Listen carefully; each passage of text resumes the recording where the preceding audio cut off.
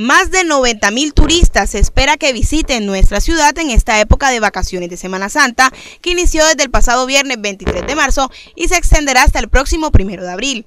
Hasta el momento, la capacidad hotelera está en un 70% y se estima que suba a 85% desde el próximo jueves santo. Bueno, de acuerdo con la proyección que ha realizado el Sistema de Información Turística de Cartagena, SITCAR, esperamos para esta Semana Santa que ya inició desde el viernes pasado 92 mil visitantes entre nacionales, internacionales y cruceristas. Es importante resaltar que esta proyección es con base en pasajeros llegados por vía aérea. En cuanto a ocupación, estamos esperando un 71% de ocupación. Por supuesto que los días jueves y viernes son los días de mayor ocupación, que esperamos un 85% y esperamos que, como usualmente sucede, se supere esta expectativa.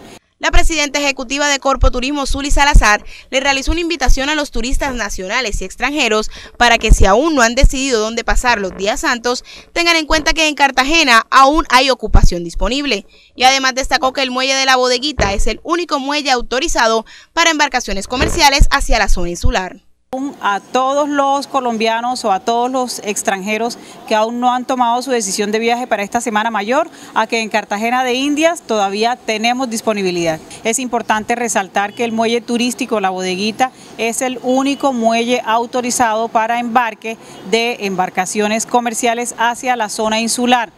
Además, la presidenta de Corpo Turismo recomendó la compra de tours en sitios autorizados para que el turista evite cualquier contratiempo en sus planes turísticos en nuestra ciudad en esta época de la Semana Mayor.